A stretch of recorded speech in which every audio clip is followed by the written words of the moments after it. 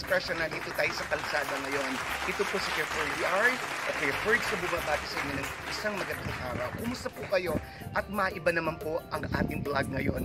Nag-survey po kami ng mga mangilan-ngilang lalaki at mangilan-ngilan na, na babae. Ano po? Para sagutin ang katanungang ano ba yung mga bagay na ayaw na ayaw ng mga lalaki sa mga babae? At ano ba yung mga bagay na ayaw ng mga babae sa mga lalaki? Ano nga ba? Abangan po natin at nakakatuwa po ang uh, segment na ito o ang ating uh, video na ito. Huwag niyo pong kalimutang isubscribe ito. Babalik po ako. Maraming salamat po.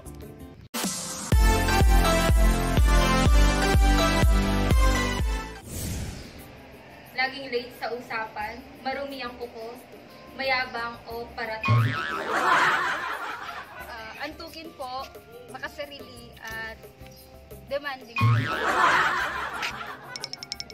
Kung ako po yung tatanungin kung ano yung ayaw ko sa lalaki, ayoko yung paasa, maduming ko, yung walang respeto sa babae at baduy.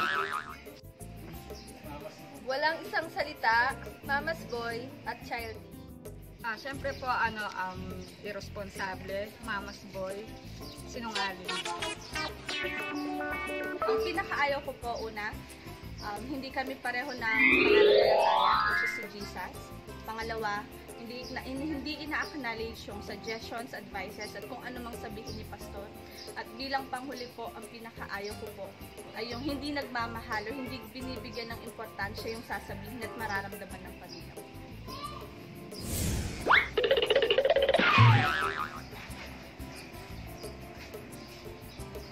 Malakas kumain, tumilig, may box sa kilikili.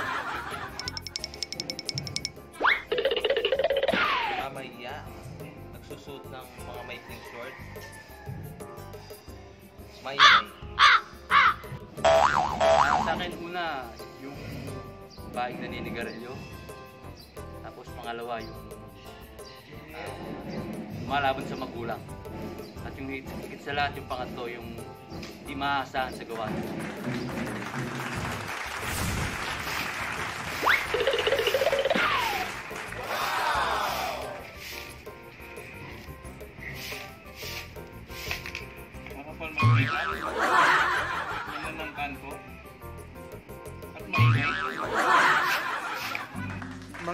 expression, narinig niyo po ang mga kasagutan ng ating mga uh, heart heart expression, no?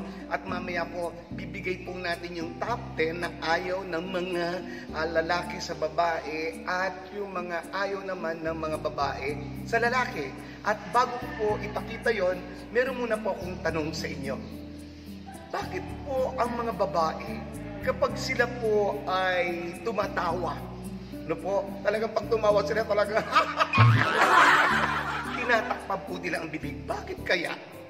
At bakit kaya ang mga lalaki, kapag nagkukwento sila, eh talagang may pasuntok sa Nakita ko ang gandang babae.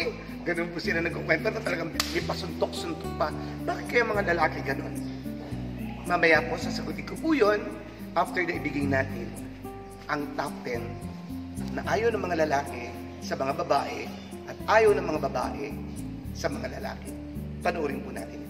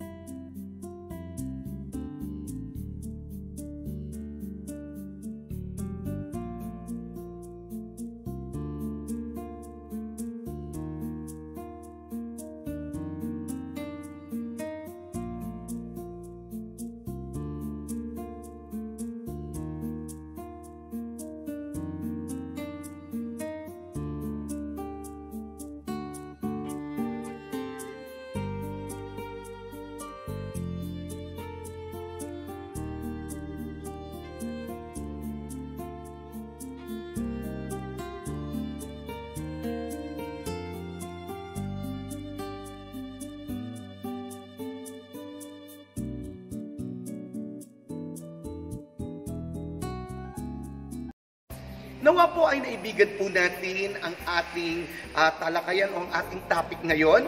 At nakikiusap po ako, no?